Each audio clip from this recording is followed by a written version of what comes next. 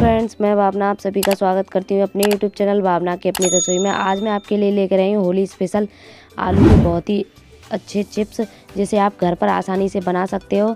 आपको मार्केट जाने की बिल्कुल भी ज़रूरत नहीं है। एक दिन बनाइए, दूसरे दिन खाइए।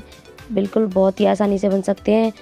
इस रेसिपी पसंद आए तो वीडियो को लाइक कर दें चैनल को सब्सक्राइब कर दें और बेल आइकन को प्रेस कर लें, जिससे हमारी हर एक वीडियो की नोटिफिकेशन आपके पास सबसे पहले आए।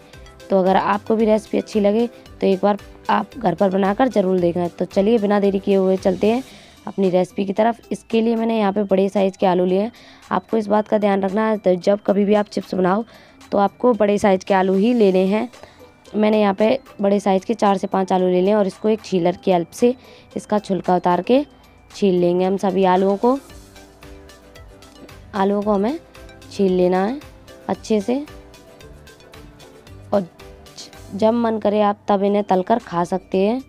बच्चे बड़े सभी को बहुत ही पसंद आने वाले हैं ये और बहुत ही आसानी से बनकर तैयार हो जाते हैं। और अब होली आने वाली है तो आप इसे बनाकर रख सकते हैं। और फेस्टिवल्स में ये बहुत ही काम आते हैं। और अब देखिए यहाँ पे हम इनको छीलते हुए जाएँगे और एक पानी में अच्छे से इनको डुबो लेंगे ताकि हमारे आलू काले ना पड़े। पानी में हमें इस, इसलिए डुबोना मैं यहाँ पर एक इस तरह का ये डिज़ाइन वाला है और एक सिंपल है इसमें। पहले मैं आपके लिए डिज़ाइन वाले चिप्स मेकर से चिप्स बना के दिखाती हूँ। फिर उसके बाद मैं सिंपल से बना के दिखाऊँगी आपके लिए। इस तरह से आपको घिसते जाना है और चिप्स अपने आप बनकर तैयार हो जाएँगी। इसमें ना बहुत ही पतली पतली चिप्स बनती हैं, बहुत ही टेस्टी लगती हैं जो बना के खाने में।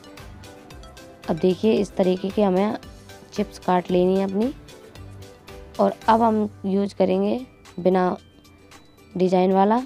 इसमें हमारी सिंपल चिप्स बनकर तैयार होंगी। आपको दिखा सकते हैं हम। देखिए, देख सकते हैं आप, इस तरह की सिंपल चिप्स बनकर तैयार होंगी। इसमें से हमारी उंगली भी दिख रही है, इस तरह की पतली बन रही है। अगर हम चाकू की हेल्प से इनको काटेंगे तो बहुत ही मोटी बनेंगी ये।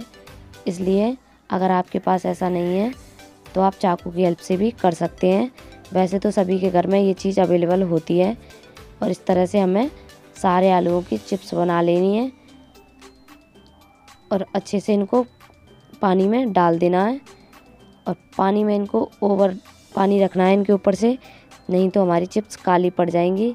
मैंने यहाँ पे एक कढ़ाई में इनको रख लिया है और पानी खूब सारा डाला है और आपको दिखाने के लिए मैं इसको इस कढ़ाई में निकाली हूँ।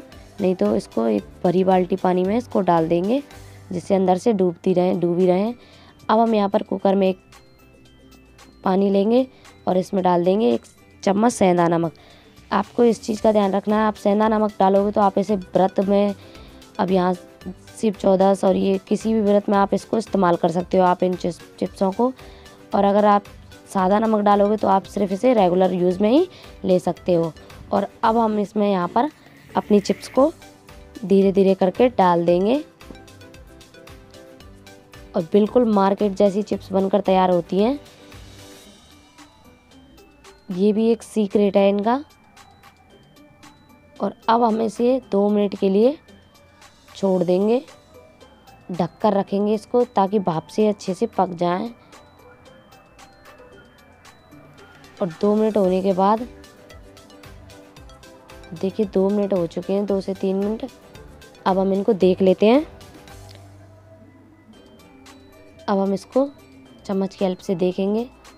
और देखिए, इसका कलर, इनका कलर बहुत ही बदल चुका है। ये थोड़े थोड़े येलो टाइप के हो गए हैं। और इसको हाथ से मसल कर देख लेना है कि हमारे आलू हुए कि नहीं। हमें इनको अच्छे से बिल्कुल भी नहीं पकाना। हल्का सा इसमें भाप लगनी चाहिए। बस इतना ही पकाना है हमें इनको। वरना आलू की चिप्स जो हैं घुट जाएँगी। और अब देखिए एक इस तरह की जहरा लेंगे और सभी चिप्सों को थोड़ी थोड़ी करके निकाल लेंगे।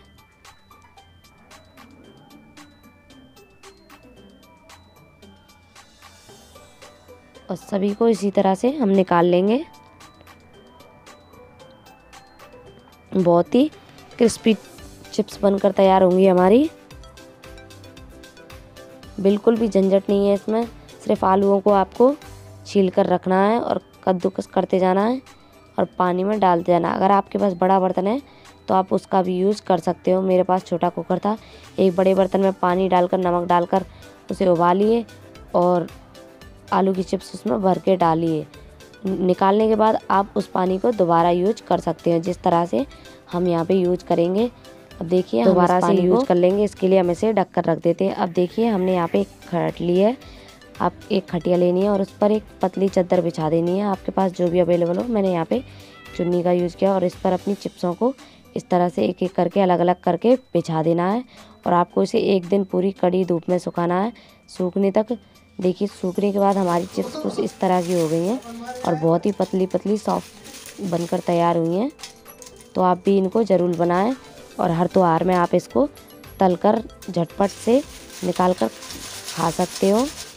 और कोई भी रिश्तेदार आए आपके घर में तो आप बहुत ही आसानी से इनको फ्राई करके परोस सकते हो। और देखिए, अब हम यहाँ पे एक कढ़ाई में तेल लेंगे और तेल को गर्म होने देंगे।